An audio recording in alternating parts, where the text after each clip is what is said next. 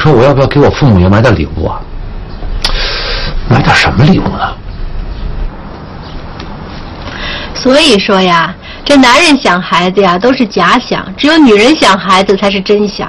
啊，你看我满脑子就是家、然然和你，你呢满脑子都是你爸妈。哼，什么时候啊你能对然然像对你爸妈那么好，我就真是谢天谢地了。瞧你这话说的，我也想孩子呀，然然也是我的女儿啊。想我怎么没听说你要主动给然然买点什么礼物呢？嗯，净想着你爸妈了。还有，我马上要回娘家了，苏纯，你想过给你丈母娘备点什么礼物吗？你安的什么心啊？啊，让孩子跟你亲，跟我不亲是吧？可是你亲孙子呀，你太过分了！你为了达到保人这个家的目的，你连个亲奶的孩子你都要用上啊！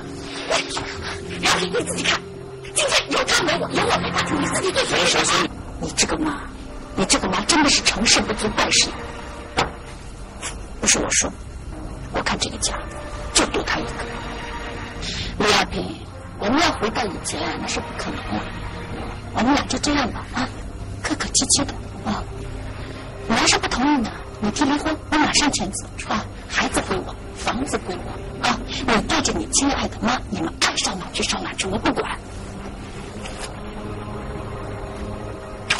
你要是还想跟我过的话，我告诉你，你去跟你妈说，请她闭嘴，啊！你要明白一个道理，这个家只能我一个人说了算，那就是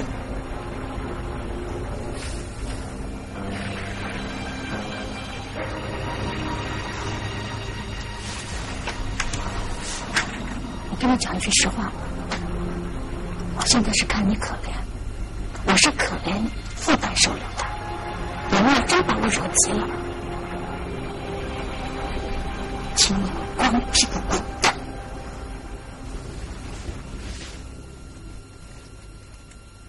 一对老夫妇在自己的家中被杀害，凶手居然是他们的亲生儿子和儿媳，而老两口的尸体竟然在凶手的家中藏了一年多。营口大石桥高坎镇下土台村的村民发现，今年五十多岁、常在村里走动的孙长久和卢素英老夫妇俩，已经一年多没有在村里露面了。儿子孙亮却总拿着父亲借给别人的钱的欠条到处讨债。村里就是有不少老百姓就问这个死者的这个就犯罪嫌疑人也是他儿子，说你父母干嘛去了？他就说是上四川打工。但是，你四川打工，他的亲属，他的死者的。姐姐、妹妹、兄兄弟姐妹，那都不知道。根据当地人的习惯，老夫妇绝不可能把欠条交给儿子去讨债，这一点引起了警方的怀疑。通过调查，警方怀疑老两口已经不在人世，而老夫妇的亲生儿子孙亮和儿媳王玉有重大作案嫌疑，并于今年二月十八号将两人抓获。犯罪嫌疑人孙亮交代，妻子和公婆长期感情不和，多次怂恿孙亮杀死自己的父母，甚至以离婚相要挟。所以说，他以前就提过，要不他把孩子带着不跟我过，要不把我父母杀了。在妻子的劝说下，孙亮竟然对亲生父母下起了毒手。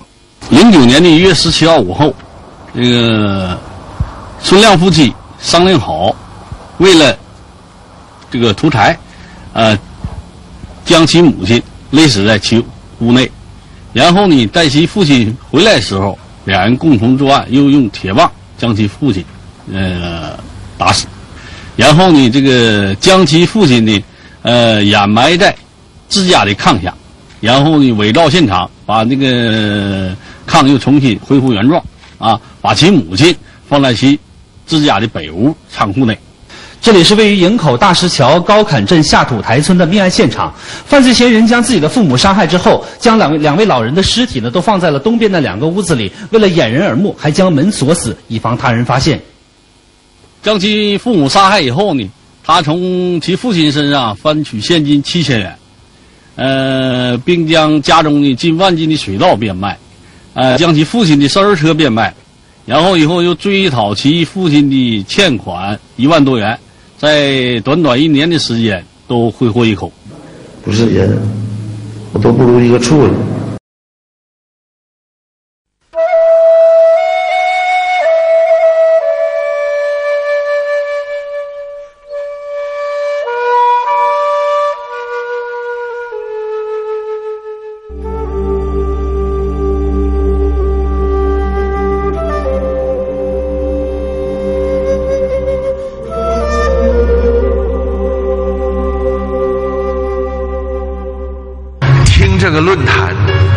天是第二天，明明天后天还两天，真受教育，真听明白了。哦，原来是这么回事。对了，不复杂呀，啊！所以各位观众，如果有这个家亲眷属啊，一定给他们叫过来听这个论坛，就能够改变他们家庭的命运呢，这是真的。在第一天，我们跟大家讲过。癌症是怎么来的？结石是怎么来的？这位老师啊，他来自天津市的郊区，是一个地道的种地的农民呐，啊，种地农民呐。他曾经多少次啊，要杀死自己的丈夫啊，他自己两次要喝农药自杀呀。什么原因呢？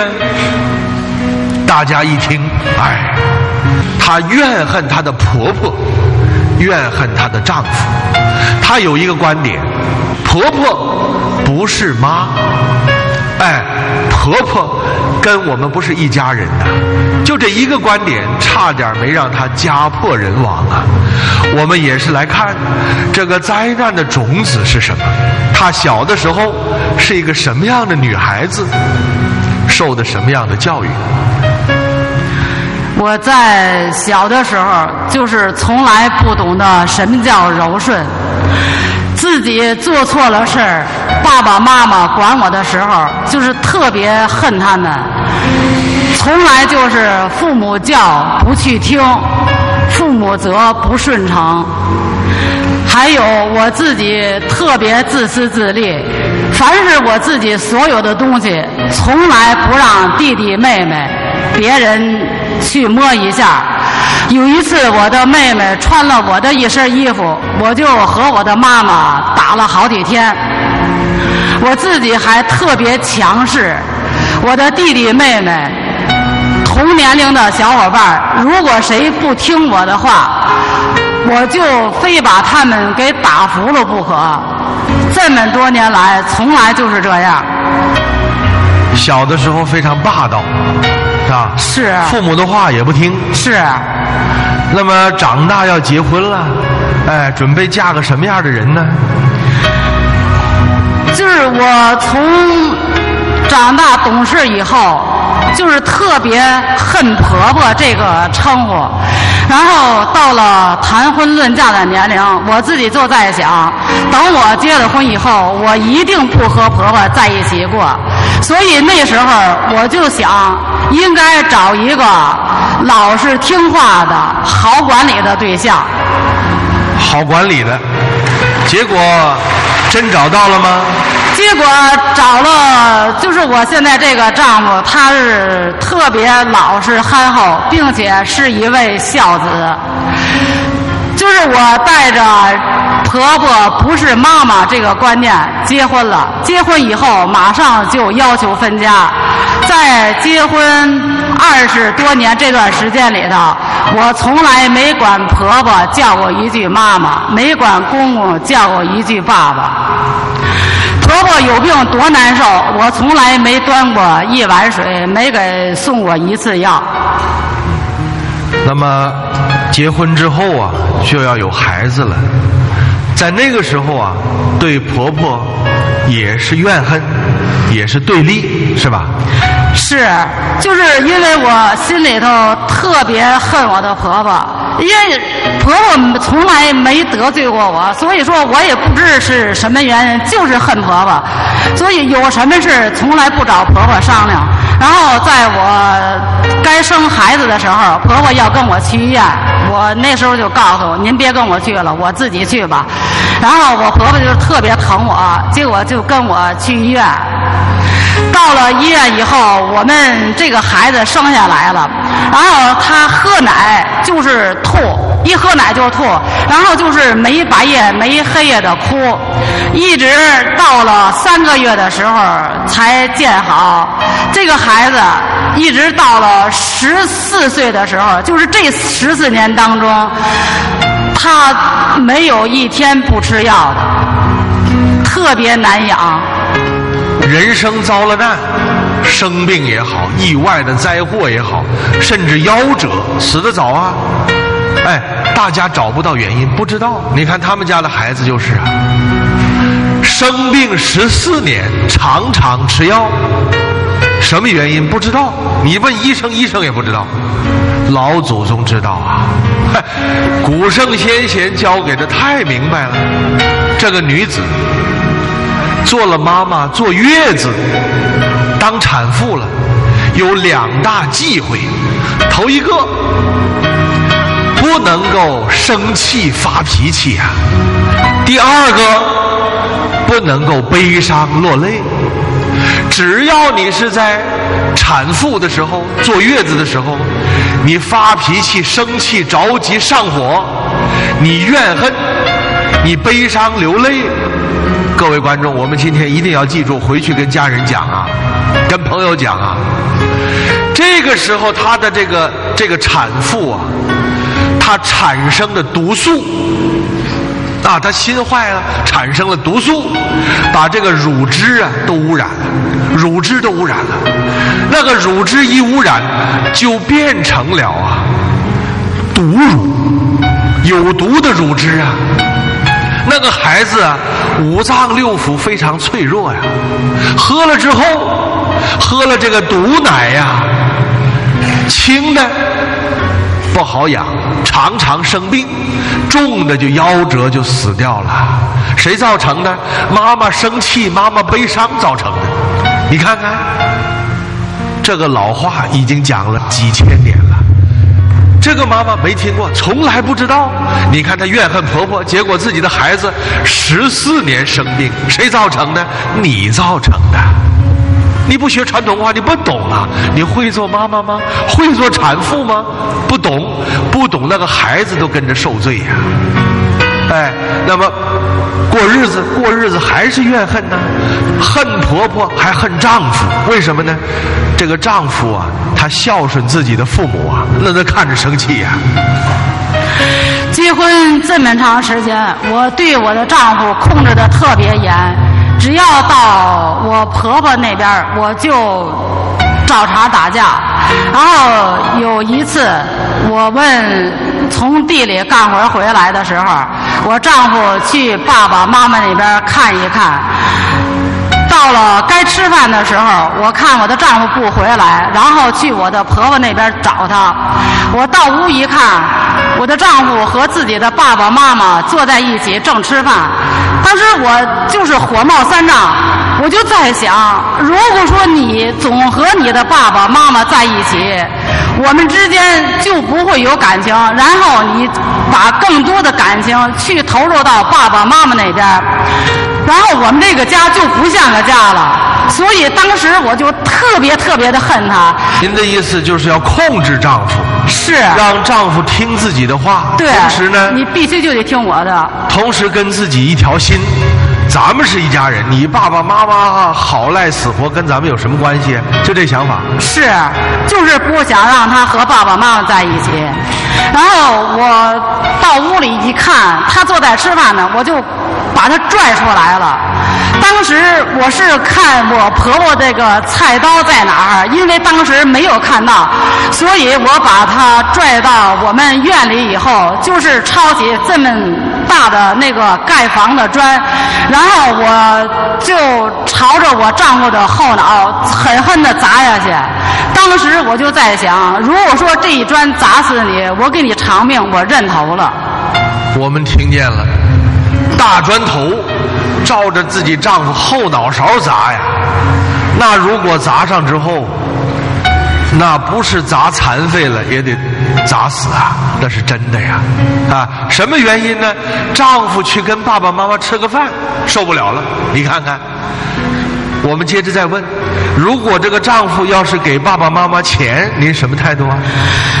结婚这么多年，我从来没给我婆婆买过一双袜子，没主动拿过钱去给我的公公婆婆。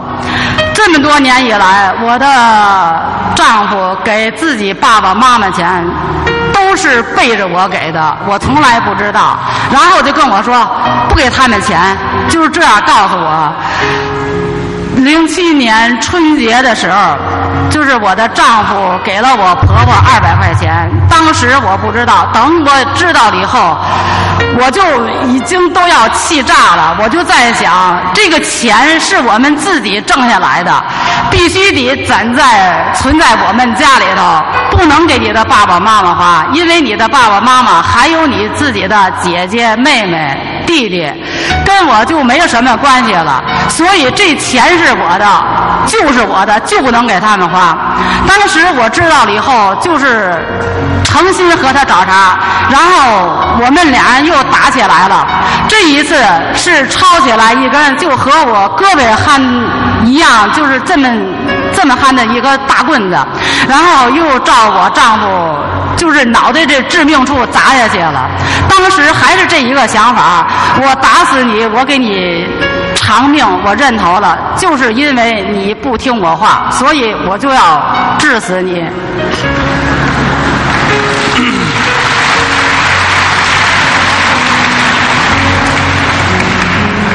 大家觉得奇怪吗？不奇怪啊。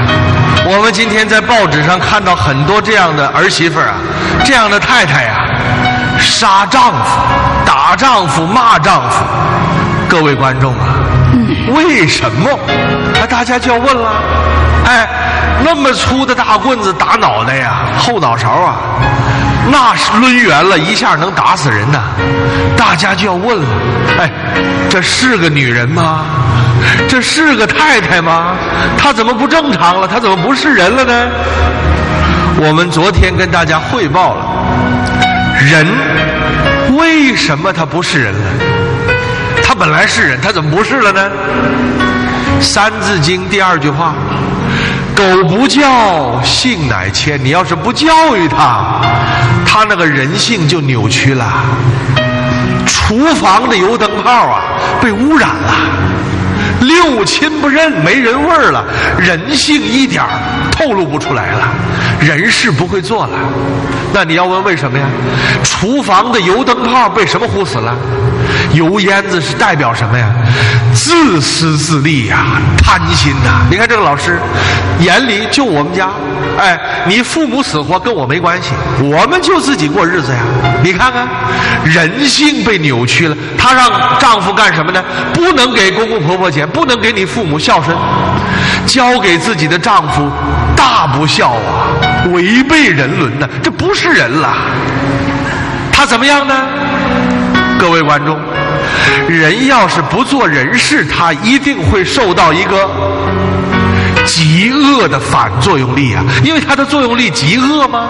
哎，他一定会受到一个极恶的报应啊！先听这个老师的身体，再听他心里。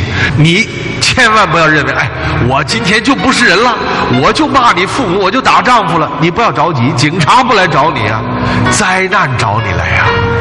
哎，一个都跑不掉啊！天网恢恢，疏而不漏啊！我们来听。我结婚这么多年，从来没有停止过对丈夫的管制。就是我丈夫只要到我婆婆那边去，我就找茬和他打架。然后结婚六年的时候，我就是在这个肝区这个部位，整天发胀。然后就是吃什么吐什么，结果到医院检查是严重的肝病，肝病，胆结石一点四，哎，大家听到了，并伴有严重的胆囊炎，哎，这个胆结石长出来了。昨天我们大家听到了，那一罐小玻璃罐里全是石头啊，啊，听一听这声音，一定要记住啊。这个玻璃瓶里边呢，装的是什么呢？装的是石头子儿。大家听听，这个石头是什么石头呢？我们告诉大家，胆结石、肾结石、胆管结石。你的血和肉怎么变成石头了？最坚硬的石头啊！哎，最柔软的血和肉变的，你是怎么变的呢？怨恨呐，他天天扭曲呀，恨死他了！哎，扭曲到最后，最柔软的血肉能变成最坚硬的石头。相由心生，境随心转呐。有人讲，哎，我也怨恨，我怎么没长石头啊？他也不是一开始就长啊，六年、三年就这样了，量变到质变的，不是不报，时辰未到啊。啊，还有啊，这身体还有毛病呢。然后就是在我脖子这个这个这个部分，整个全肿起来了，在我肩上这儿就是起了这么大一个包，然后回头的时候总是整个转身才能回过头去，在这个脖子就是。胀起来，我喘气喘不出来，吃饭总是要用水去往下送才能咽下去。就是犯的最严重的时候，我整天是坐立不安，睡觉都睡不了。然后就是在睡觉的时候，用一个枕头放在桌子上，我只能趴在枕头上睡觉，就是好像用几只手在掐着我的脖子一样。到医院检查，西医说你这是累的，没有什么病。请老中医给我看，结果老中医说你这是气血不通，整个气血全淤在这脖子上了。如果你不改变你的脾气，将来以后等这个脖子一发烧一溃烂，你这命就没有了。这个脖子上啊肿了个大包，是坐卧不宁。是，就是喘气都喘不过来。我问一下，多长时间？十三四年吧，我吃药最多的时候，就是一次用了二百副汤药，然后不算是西药，就是这样，已经就连续用过好几次都没管事儿。我们大家很多人也有这个问题啊！哎，我吃这么多药怎么不管用啊？什么原因呢？你的细胞都扭曲了。细胞为什么会扭曲？你心扭曲了，人性扭曲了。我们要反省啊！我们做了太多不孝、不忠、不仁、不义、不廉、不耻的事情啊！这是真的呀！你那个心不改，你把那个药铺吃倒了，你也那个病也好不了啊！十三年不管用啊！就是已经都喘不出气儿来了，憋得我实在太难受了。就是用罐子拔的时候，拔出来的全是大血块。血块？是。结果就在这个脖子部位拔了三个月，到现在就在这个部位还有一个大伤疤，就是因为拔罐子拔的。我们大家就要问呢，哎，这个血液不都是液体吗？人的血是液体，它怎么变成块儿了呀？各位观众，扭曲了，都凝固了，就这么简单的。哎，你如果要是问，你为什么会这样？你不要问医生，你问你自己。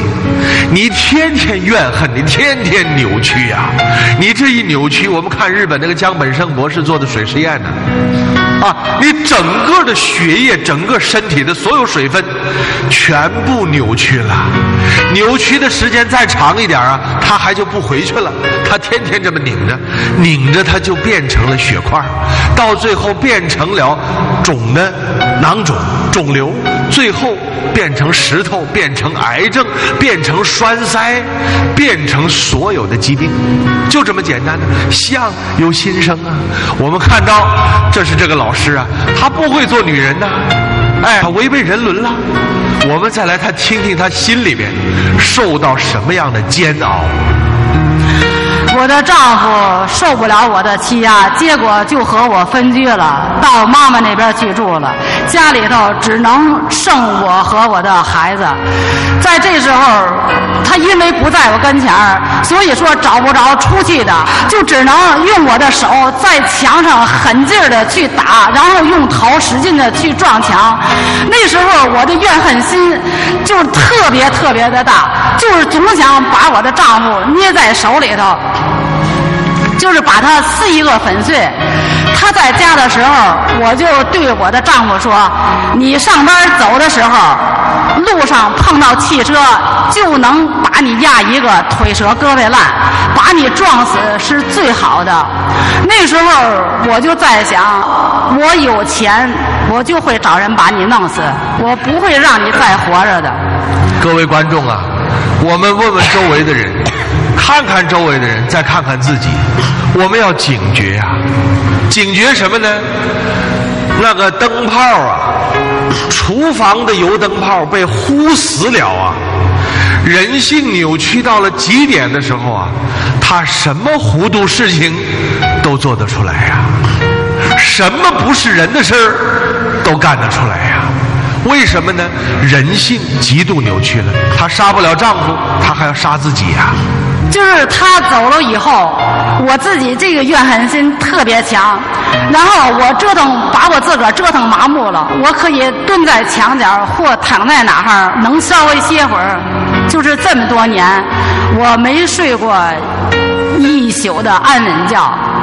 有时候几天都不睡觉，几天都不吃一顿饭，然后走到街上的时候，头不梳脸不洗，把孩子领到街上，我有时候就把孩子放在那儿，自己都不知走到哪儿。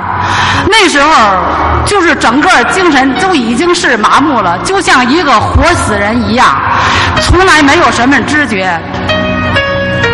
有一次看到孩子摔倒了，当时我就在想，我这个妈妈还有什么用啊？真是一点用都没有了。所以那时候我就不想再活着了，我就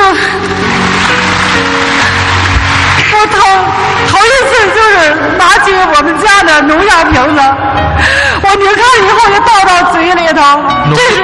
农药是啊，这时我的孩子就看到我了，就跑到我的跟前，然后就是使劲抱着我的腿，告诉我：“妈妈，您可别死，如果您死了，我就没人管我了。妈妈，您要管我。”当时看到孩子这样，自个也挺心疼的，所以就是把农药瓶子放下了。可是就是因为恨我的丈夫，恨我的婆婆，所以我不知道什么叫快乐，一点安全感都没有。就是到别人家里头那么幸福，所以我自己就是特别特别羡慕别人，自己就总在想，为什么我怎这么命苦啊？我自己没遇到好丈夫，没遇到好婆婆，就是那时候我晚上进不去屋，因为进到屋里头，我就整个人就要爆炸了似的。然后就是白天去野地里头，就是大声的喊，拼命的喊，只有这样才能把我心里这点怨气发出来。所以那时候我活得特别特别痛苦。然后就是我第二次又拿起农药又喝，然后就说这个已经都咽下去了。我的孩子，因为他那时候就特别有心眼儿，就是总看着我，就是他把邻居的大婶儿给叫来了，然后就是直跪在我的面前，要着我妈妈妈妈，您千万不能死，你要死我就真没人管了。姐妹们，当时您是我是一什么样吧？我要活我活不起，要死我死不起，我真是太难受了。就是我整个被怨恨。就全给包围了，像无数条绳索一样把我捆得结结实实，使我不能挣脱出来。我真是太难受了。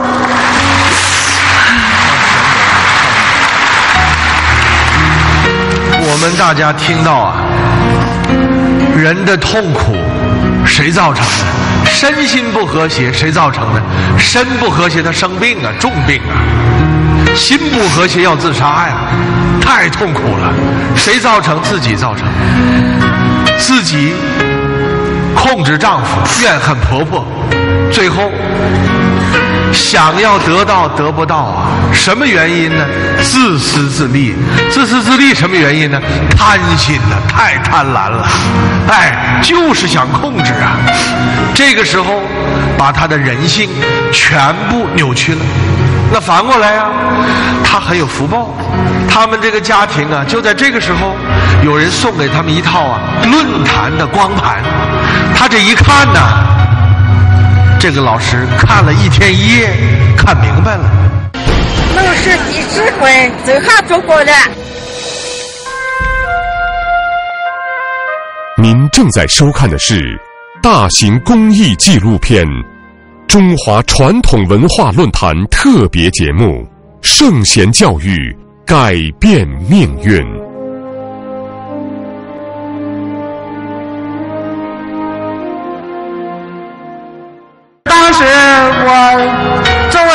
姐妹是学传统文化的，她给我一套光盘，就是咱们论坛的光盘。她说：“你看看这套光盘吧，你这么多年为什么痛苦？你就从这光盘里边就能找到答案，并且还能让你解除痛苦。”我当时拿到光盘以后，只是看了一天一夜，看完以后我明白了，我是一个女人。女人的四种身份我都没做到位，我所作所为都是违背伦常的，所以就遭到了恶报，让我有病，让我遭受车祸，让我自杀。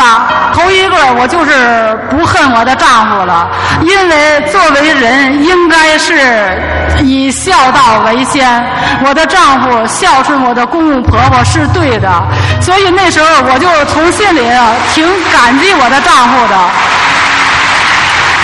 我然后就是到我的丈夫面前去给他磕头，给他赔礼道歉，给他洗脚。哦，改了。是，就是看完以后吧，看完这些老师讲的以后，我也明白了，我应该在婆婆面前尽孝。这时候，我婆婆所有的好处，我就都想起来了。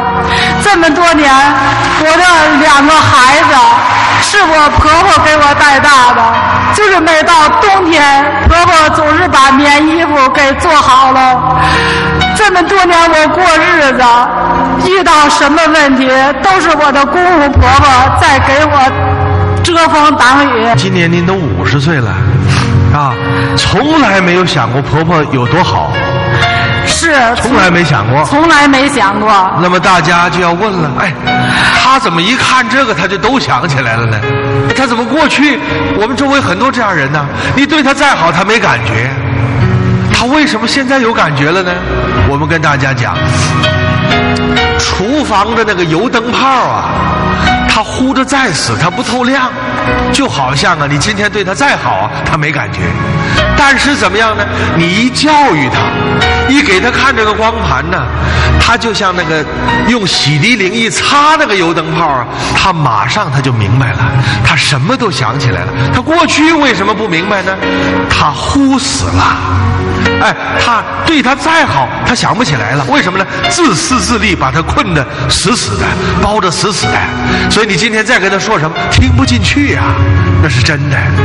当时我就跪在我婆婆的面前，我对婆婆说：“我说妈妈，我结婚这么多年，我从来没尽过孝心。现在我学习传统文化，看了传统文化的光环，我知道我错了。五十年了，姐妹们，五十年呢，从来没认过错。是我五十了，今年我从来没认过错，我都是说别人是错的，我是对的。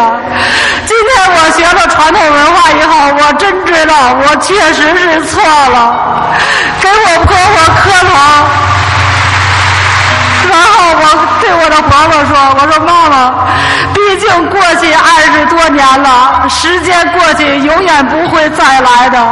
可是我愿意用我十年、二十年的寿命来换取您十年、二十年的寿命，就是请您多给我留一点尽孝时间。”盼望老婆婆呀，老公公能多活几年呢？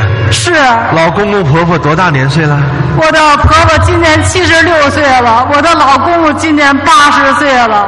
哎，老公公就是因为这么多年和我生气，让我给气瘫了，就是气瘫了已经是三年。瘫痪在床啊！是这老人家八十岁了，不能动了是吧？是啊，就是什么生活都不能自理，这么多年就是我婆婆一手照顾，我从来没给端过一碗水，没给我请没给请过一次医生。在我懂得道理之后，我发愿，我要让我的公公站起来。所以那时候我就给公公买来了泡脚药，买来了泡脚桶，给我的公公洗脚，给我的公公做按摩。我对我的公公说：“我说爸爸，这么多年是我不孝，把您给气成这样，所以我从心里我就有这么一个大的心愿，我一定要让您站起来。”那么然后呢？当时我的公公就是用一种渴望健康的眼神看着我，然后跟我说：“说孩子，我谢谢你。”这时候我就是不怕累，就是每天给公公做按摩。一个月过去了，没有见到什么效果。当时我的公公灰心了，就告诉我：“你别给我做按摩了，这么多瘫痪的人都不能站起来。”我想我也是这样的人吧。你的心情我知道了，可是姐妹们，我不甘心。因为我要在我的公公面前尽孝，所以要赎罪。是，所以我就记住《孝经》里有这么一句话，就是说孝悌之志能通于神明，光于四海，无所不通。当时我就是用这句话作为我的动力，所以当时我知道离我们家。多里地有一位按摩师，他是特别有经验的。当时我找到这位老人，我就给这位老人跪下了。我对老人说：“我说老人家，您要成全我，要帮助我。我的公公让我给气瘫痪了，我给做按摩一个月不管用，您一定要帮助我。”当时老人家就是特别受感动，然后。就是把他自己的这么多年来的，就是最关键的方法告诉我，我按照老人教给我的方法，回到家里以后给我的老公公做按摩，半个月过去了，老人家的腿就能动了，能动了，是啊，能活动了。我们在大屏幕上看到的这位老人家呀。就是这位老师八十岁的老公公，腿能活动了啊！后来呢？就是到了三个月的时候，我的公公能下地走路了。能走路了。是。三个月。哎。这我们看到啊，这从家里走出来，那现在什么情况啊？就是在五月份的时候，我们家里盖房，我的老公公能用三轮车给我推砖了。骑三轮车了。是。哎，我们看见了。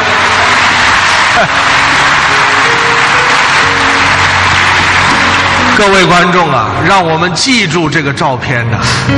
她的老公公八十岁，瘫痪三年了，不能动了。结果命好啊，遇到传统文化了。这一家人遇到之后啊，这个儿媳妇啊，怎么样呢？相信《孝经》上讲的真理，孝悌之志。通于神明，那个神明什么意思呢？人心呐，自然规律啊，啊，不是神仙，不是那个意思啊。然后怎么样呢？无所不通。哎，你看到啊，是吧？你看到啊，我们再看那个照片，对，你看到啊，哎，这个老公公啊，现在多健康，那个笑容我们印象太深了，是吧？为什么呢？真的是啊，人是教的好的。五十岁的这么恶的儿媳妇儿，要不喝农药，要不要杀丈夫？你说这么一个人，一套光盘，论坛的光盘一套，哎，人家不但自己改好，给婆婆磕头认罪，还能把呀，哎，老公公啊，用按摩的方法，在医药的配合下，还能治好。有人就讲了，哎，我怎么我也按摩去？我给我们家人按摩，怎么达不到这效果呀？各位观众，《孝经》上这句话我们一定要记得：孝悌之志啊，你的孝心得达到极点呐，你得真诚，你的心还不够孝啊，还不够《孝经》，还不够仁爱，所以他达不到这个效果呀，无所不通。什么叫无所不通啊？你整个的身体，哎呀，你说我胳膊疼，我这腿疼，我这栓塞了，我这得癌症，我这得呃得肿瘤了，为什么他堵住了呢？你本来应该是无所不通啊！哎，《孝经》上讲的，正常人都是无所不通啊，你为什么不通了呢？头一句话我们听到了孝悌之志，他才无所不通啊！你不通是因为你不孝啊！我们大家回去想一想，我为什么生病啊？这儿堵了，那儿拴住了。想一想，我不孝啊，真的不孝啊！我们对照古圣先贤的教导，什么叫孝啊？第一个，孝顺的顺，你做到了吗？你说给他钱，给他吃的，给他喝的，那你顺着父母吗？不顺呐！你天天惹他生气呀，你这是大不孝啊！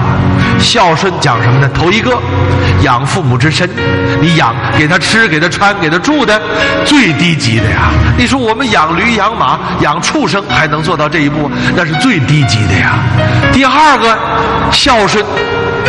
养父母之心，你让你父母天天愉快，你做得到吗？你做不到啊，不孝啊。第三，养父母之志，父母有愿望，希望实现什么理想，让你成为一个好医生、光宗耀祖，成为一个好老师，你能实现父母的愿望，这个志向，哎，你是大孝啊。至孝是什么呢？养父母之辉，让爸爸妈妈、让爷爷奶奶、长辈啊，他的智慧打开呀。你是至孝啊，小孝、中孝、大孝、至孝，我们都没听过呀。所以你不孝，没人教啊。你不孝顺呢，你最后身体堵住了。哎，什么原因？自己不孝造成的。这我们听明白。我们不信，来问问这个老师，他现在孝顺父母了，他身体怎么样呢？我们听听啊。学完传统文化以后，我不再恨我的丈夫，不再恨我的婆婆，所以我心里就没有恨了。当时我吃药以后，在我脖子这个部位，就是他的皮肤自己就是裂口，然后往外流黄水，排毒。对，留了一个多月的时候，这个包就基本上是平了。到现在为止，已经没有什么痕迹了，什么都看不见了，没了。我们刚才听到了，他脖子上这个大肿包啊，十三年了，医生治不好啊。嘿，他自己忏悔，他那个心呢不再扭曲了，恢复正常了，相随心转呐，啊，境由心生啊。他改了之后，那大包我们看不到了，这是真的。胆结石怎么样啊？胆结石从一点四缩小到零点三，还有点一小块。然后就是肝病已经没有了，就是肝脏几乎接近正常了，胆囊炎也没有了。各位观众啊，相由心生，境随心转是真理呀。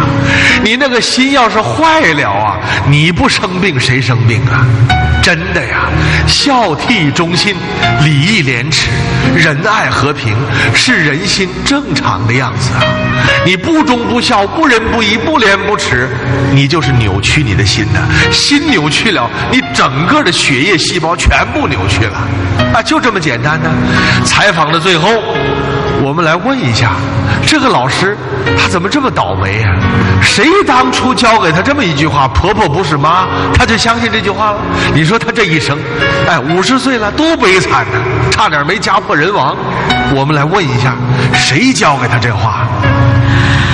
我生长在农村，我的爸爸妈妈都是农民，他们从来没学过传统文化，也不懂得什么是孝道，所以在我妈妈结婚时间不长，就因为分家产和我的婆婆和我的奶奶打架。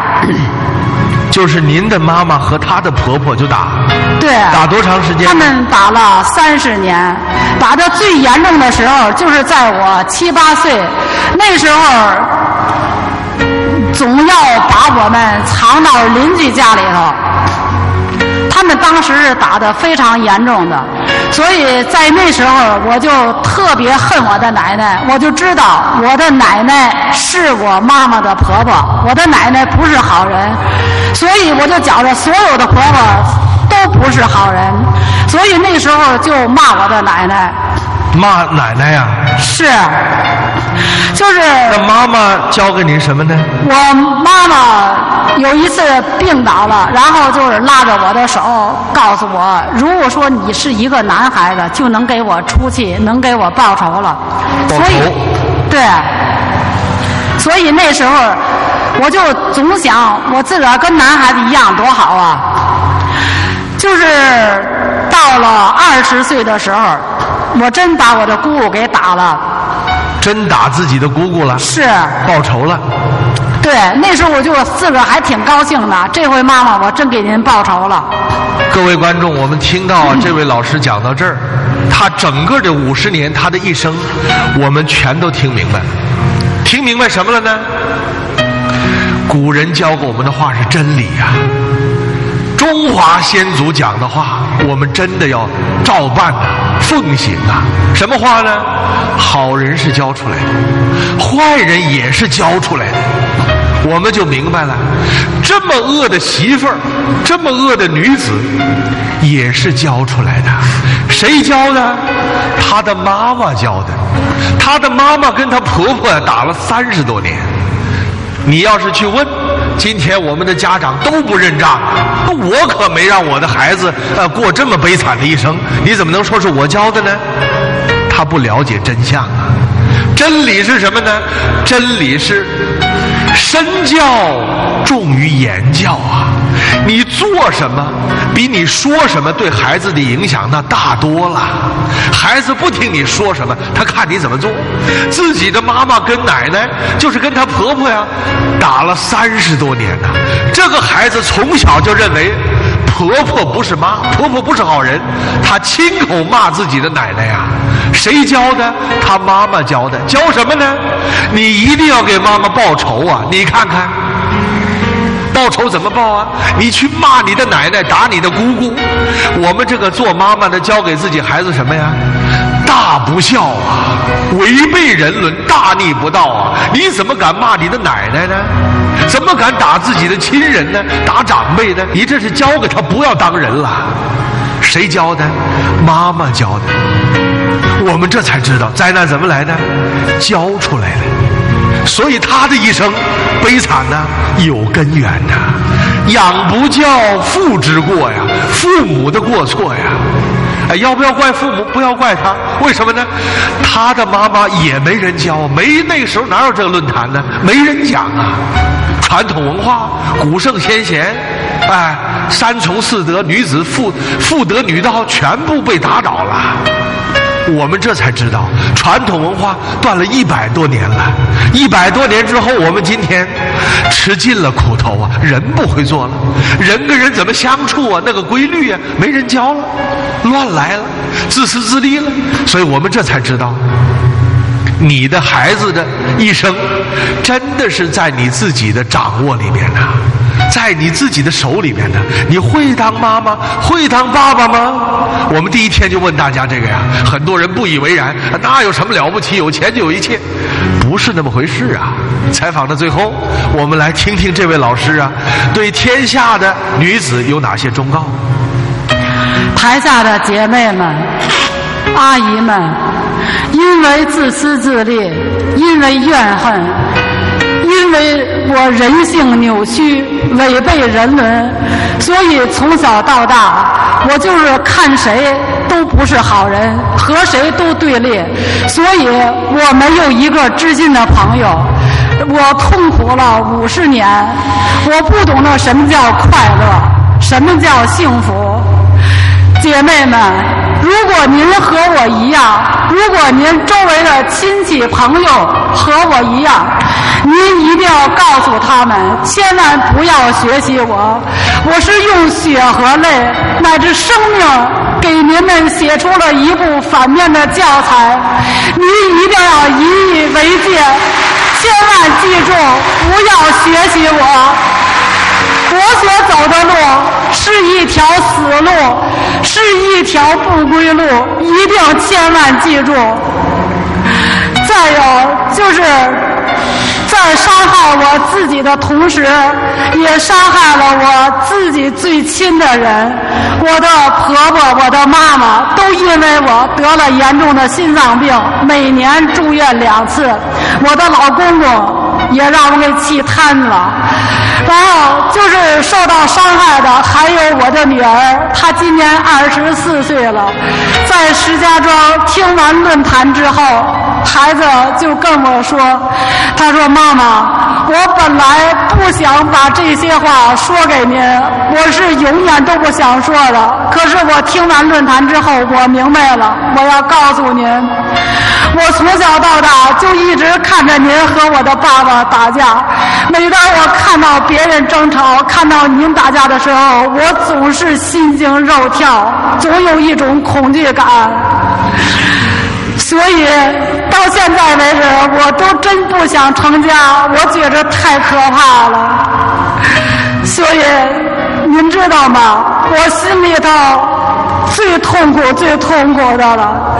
您一定要把我的呼声带给所有的阿姨们，带给大哥哥、大姐姐们，告诉他们，千万千万别再打架了，给孩子一个幸福美满的家庭吧。谢谢阿姨们，谢谢大姐姐们，这就是我孩子想要让我转给大家的。我闺女丁最后跟我说这么一句话：“妈妈，如果说我不遇见传统文化，我都不想再活着了，活着太没有意思了。”姐妹们，学了传统文化，我能明白了。如果说不学传统文化，我一直会糊涂到死。所以说。我如果从现在开始给咱们的老祖先磕头，就是磕到我生命的最后一刻，我都表达不完我对老祖宗的感恩之心。所以，台下所有的观众们，您们要学传统文化，它能让我们趋吉避凶，能给我们改变命运。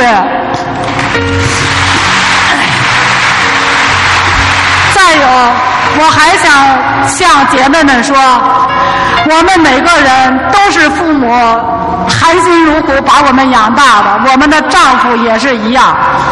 我要说，我的丈夫是我婆婆生的，我们千千万万姐妹们的丈夫是千千万万婆婆生的。正因为有了这些婆婆们，才让我们姐妹们终身有靠，才让我们有了幸福的家庭。所以说，我们婆婆的恩德和我们妈妈的恩德是一样的伟大。我们要从心里头感恩我们的婆婆们，我们要无条件的孝顺他们。我要说。婆婆就是我们的妈妈，在这里，我祝愿天下所有的婆婆健康长寿。在采访的最后啊，我们大家非常感慨，喝了两次农药。如果说没有人给他那个光盘，在今年呢四月份之前，如果没人给他那套光盘。这位老师有可能已经不在人世了，啊，真正叫家破人亡，死都不知道怎么死的，哎，多可怜呢！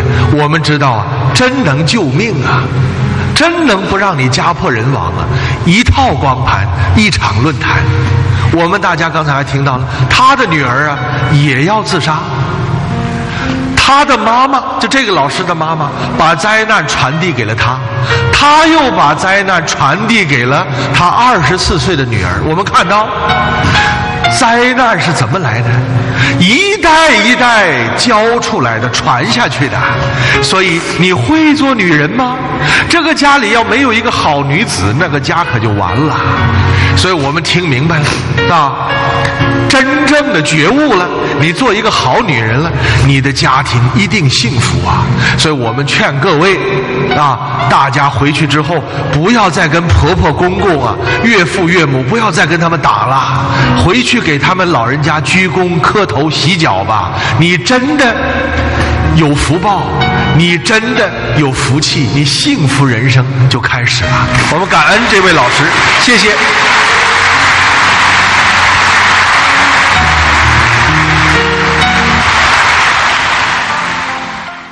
今天的人们不会做婆婆，不会做儿媳妇。这是发生在二零一一年五月二十四号的一个新闻。婆婆和儿媳妇常常吵架，一时想不开，婆婆抱着孩子从楼上跳下来自杀，祖孙当场就摔死了。婆婆只有五十一岁，而可怜的孩子只有十一个月大。案件发生后，儿媳妇已经被警察带走。现在家里只剩下丈夫一个人了，这是她抱头痛哭的场面。我们相信，像这样的家庭，如果原来学习过传统文化，学习过做人的道理，看过老师们的汇报，看过论坛的光盘，这样的悲剧是绝对不会发生的。因为自私自利，因为怨恨，害了我五十年。这么长时间以来，我不懂得什么叫幸福，什么叫快乐。我是用血和泪乃至生命给大家写了一本反面教材，姐妹们一定要引以为戒。如果您还像我这样，如果您周围的亲戚朋友还有和我一样的，您一定要劝告他们。赶紧收住脚步，别往前走了，前面就是万丈深渊，那是一条不归路。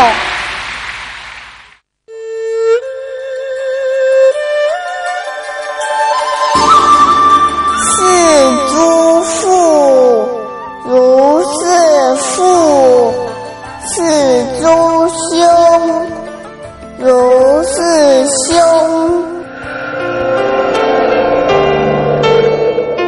学好《弟子规》，做好中国人。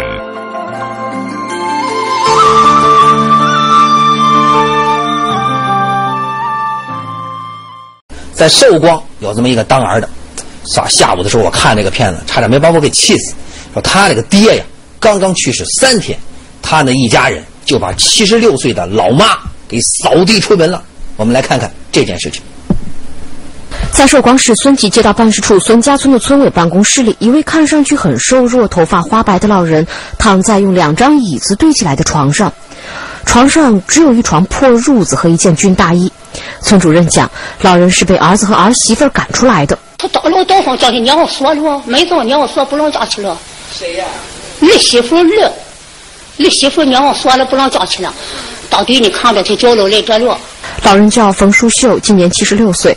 四天前，老伴儿刚去世，在老伴儿去世的第三天，也就是出殡的当天，儿子和儿媳妇就把他从家里给赶出来。自从被赶出家门以后，冯淑秀老人大多数时间都躺在用椅子堆起来的床上，很少说话。村民看到老人可怜，都纷纷的给老人送来了吃的喝的，可是老人对村民送来的东西几乎就没动过。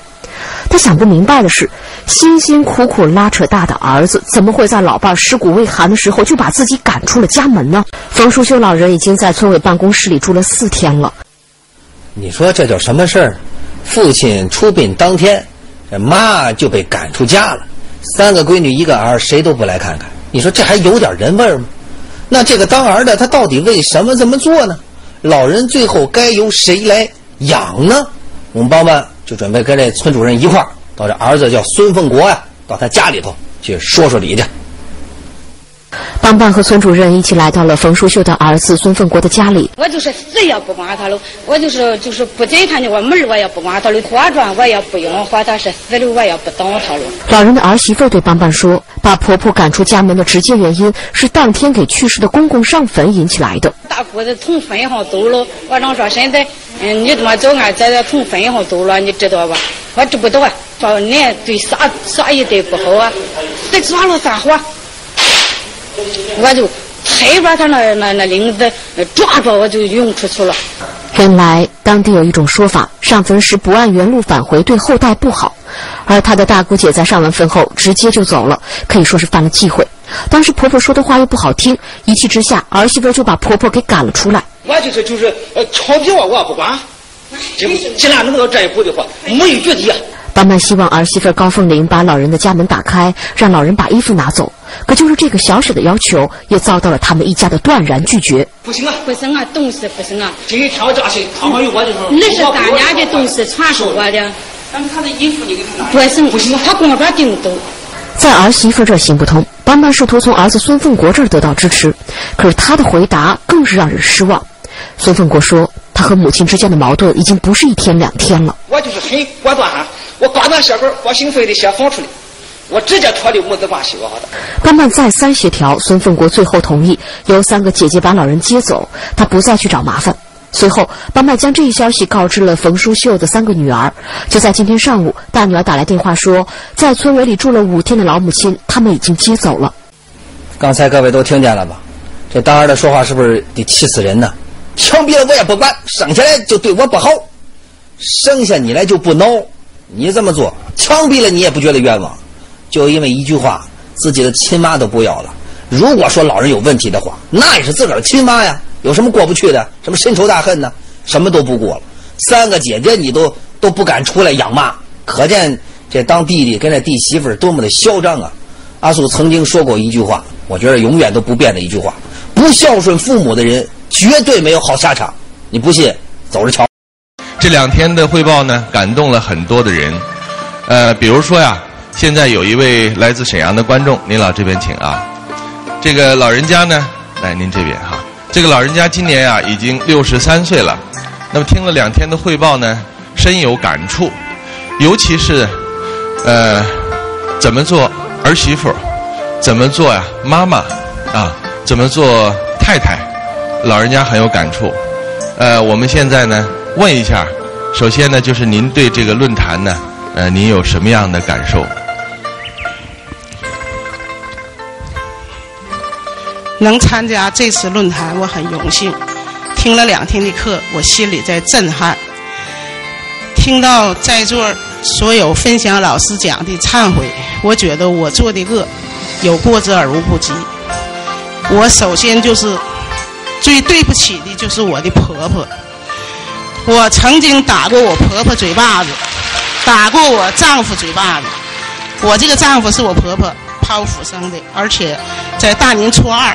守着啊！您刚才说打过自己的婆婆和丈夫是吧？是的。那是什么时候的事啊？在我婆婆已经死十二年了，那就是十二年前的事情。我根本不知道怎样做人。作为老祖宗的传统文化，我根本就一无所知。所以我造下这些恶哈。当我听完两天的分享，我心里在滴血。我现在想跟婆婆说一声对不起的机会都没有了，所以我主要就是父老乡亲、姐妹们，千万不要树欲静而风不止，子欲养而亲不待。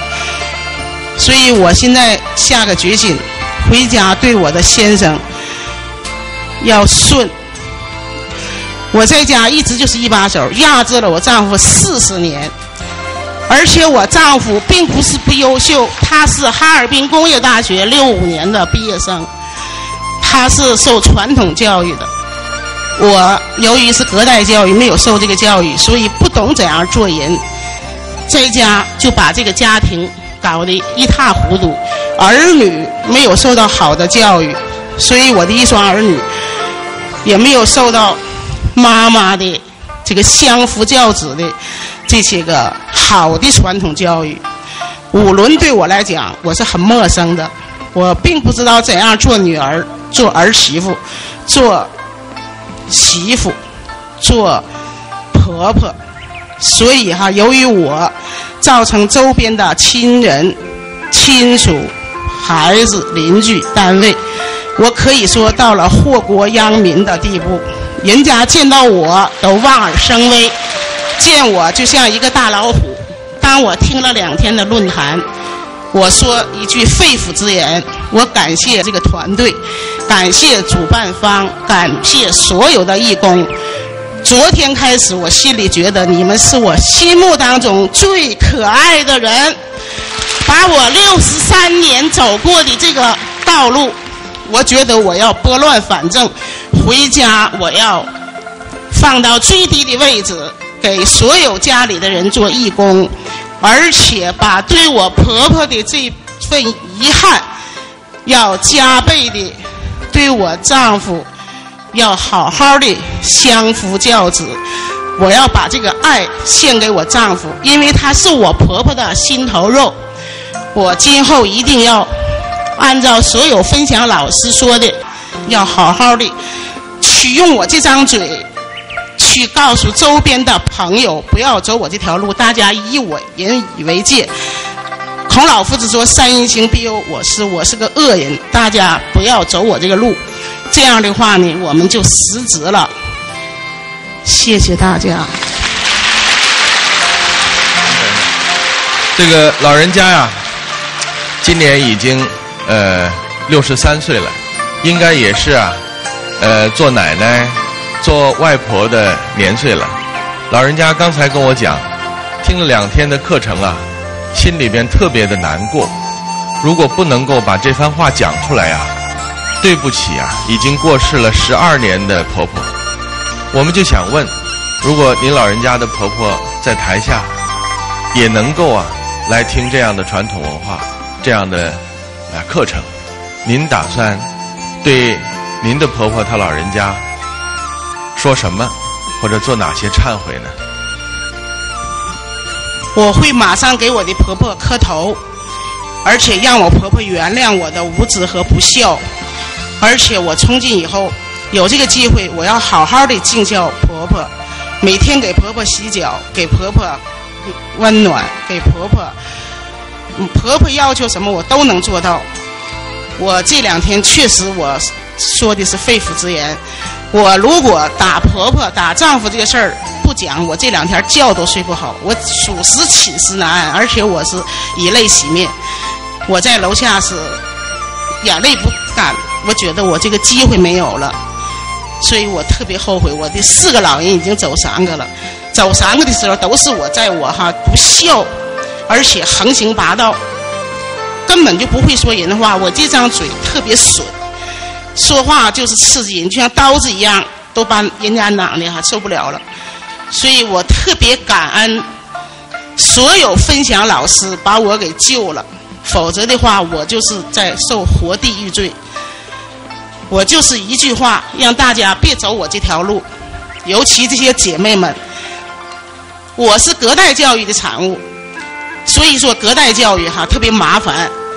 咱们中国资治通鉴说“爱之不以道，足以害之”，我就这么个产物。这个隔代教育啊，就是父母啊没有直接教育，由这个比如说爷爷奶奶呀、姥姥姥爷来直接教育，是吗？是的，我是姥姥和姥爷给我惯成这个样子。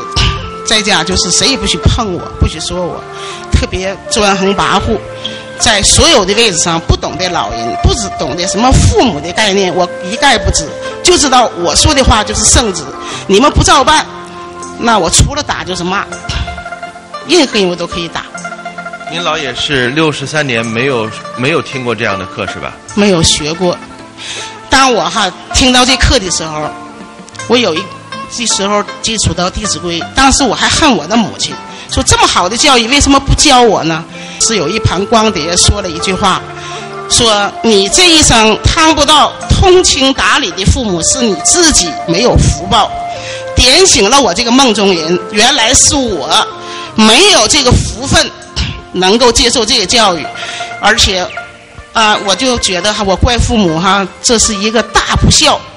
所以，谢谢所有分享的老师、义工、主办单位。我这是肺腑之言。我而且昨天晚上睡不着觉，突然升起了一个念头：原来最可爱的人就是你们这些老师。真诚的谢谢你们，把我这个地狱的众生救了。好，谢谢老妈妈，谢谢您。好，谢谢，谢谢。好。这位老人家这番话呀，其实也真的能够救很多的人。刚才呢，老人家讲到子欲养而亲不待。